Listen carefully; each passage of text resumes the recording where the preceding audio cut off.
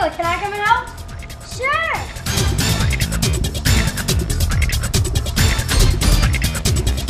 Ah! When you care about others, you can make a difference.